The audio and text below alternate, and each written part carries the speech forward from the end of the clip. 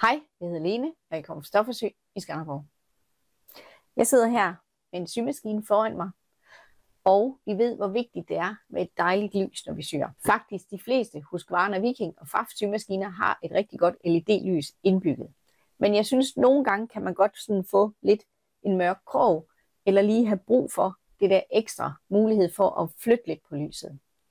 Så denne her lille Vivilux lampe er en god tilføjelse til din symaskine, uanset hvilken symaskine du har. Det er en lille LED, meget nøjagtigt kan man flytte lyset hen, hvor man har brug for det. Og den er til at genoplade. Den kan genoplades mange tusind gange. Og man genoplader med det her medfølgende stik, som går i et USB-stik, så om det er igennem din computer eller et plug-in til stikkontakten, så kan man simpelthen genoplade denne her. Så der er ingen deciderede batterier, der skal udskiftes. Lille tænd og sluk knap er der her på, og så er der velcrobånd med til at montere på symaskinen, broderilampen eller hvor ellers det er, vi sidder og har brug for at have lidt ekstra lys.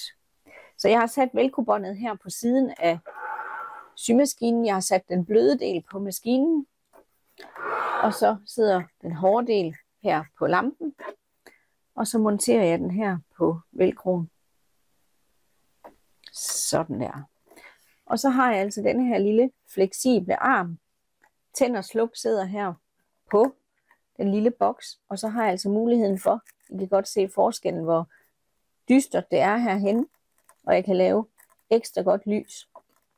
Så jeg har muligheden for at se fuldstændig de linjer, jeg har, jeg skal sy efter. Så en fin, fleksibel måde at få lyset rundt på, nogle stoffer synes jeg er sværere at sy i end andre med lys, så der kan man altså lige få ekstra fokus med den lille Vivilux lampe. Så lys over land, så går det der ud af med symaskinen. God fornøjelse.